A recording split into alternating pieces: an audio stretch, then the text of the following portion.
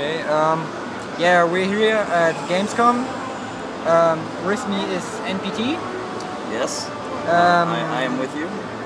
I'm ZZ, and today we are having here a PlayStation Vita with a debug timer. Um, yeah, Package installer obviously being a very interesting option to have on your 1691 Vita, yeah. um, yeah. It still wants to connect with the content manager assistant, which is uh, pretty, well, let's interesting. So you can't, you don't really have a way to get around it. But Um, at least you can install packages through CMA. It's unfortunate that that you can't use OpenCMA, but I suppose on a debug you're probably not going to do that. It's pretty sim- similar with the uh, PlayStation 3 package installer. Um, well, then the store preview um, icons, it's like on the PSP or PS3, there we have these options too. Well, then into the settings. No. Um, yeah. First thing is it shows the full firmware, not just 1.69. So Yeah, actually showing 1691.011, which is. The debug settings Yeah, makes menu, however, is probably the most interesting thing on the whole thing by far. Um, being able to actually supply the server update URL is, is kind of interesting, helpful.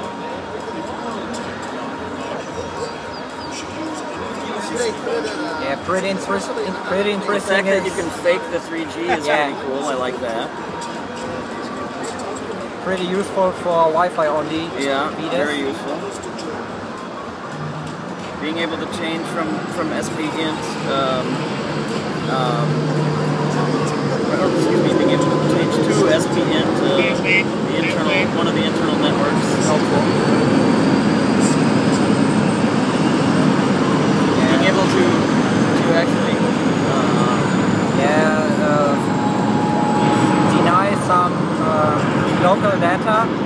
It's well, yeah, not that interesting. Not that interesting. Probably the most interesting thing on the whole thing is the activation menu because of the 90-day deal. So you should show, you know, you've got less than 13 days left to reactivate it with the 90 days and all. Um, and I would go back and show people the two ways that you can actually activate it. That's interesting. So activating by storage, um, from what I've been told anyway, would be uh, an activation file you'd get off of DevNet and put onto a memory stick and put in there. Um, activate it by connecting to the PC would be done over the debug or the USB uh, cable by again connecting to DevNet, and then uh, you should show, um, I guess, the activation key because that may be interesting later. Uh, get a good shot of that actually. um, Still, still 13 days left. yeah, and uh, so then what with the 77 days um, left that you have, unless you had some way to get the new uh, the new key in 77 days or had uh, DevNet access, you would pretty much have a not a brick in your hand, but Yeah, we certainly don't something that's not going to time do left much. because We're gonna catch a train. Okay. So uh, The core dump we're gonna be uh, is a heading nice the feature. central station rather soon. Being able to analyze the full core dump uh, would, would be a nice thing. Uh, beyond that, what else do we have left in the below activation? Um, some system stuff like um, changing the button behavior, like for Japanese or non-Japanese units, Yep. should be in the uh, usual settings for the retail consoles because it's pretty useful option for imported consoles. Yeah, being able to change the region settings that easily is pretty nice. And beyond that, Uh, the firmware versions of the of the touchpad and such and the motion sensor is Look, pretty it, cool. it, it's gonna get stolen overnight. Should we take these and with us then to uh, keep them I safe? guess basically at that point, uh, being able to fake all of all of that. Beyond that, the differences between a debug and a standard are, are not too heavy. And yeah, you can download content. Um, content.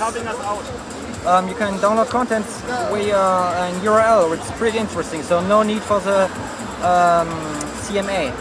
Right. Well, and the last really great thing is that you can disable the power saving or change it to 60 Wir minutes. müssen euch leider äh, gleich Okay. zu gehen, weil wir nicht mehr so lange machen können. This was it.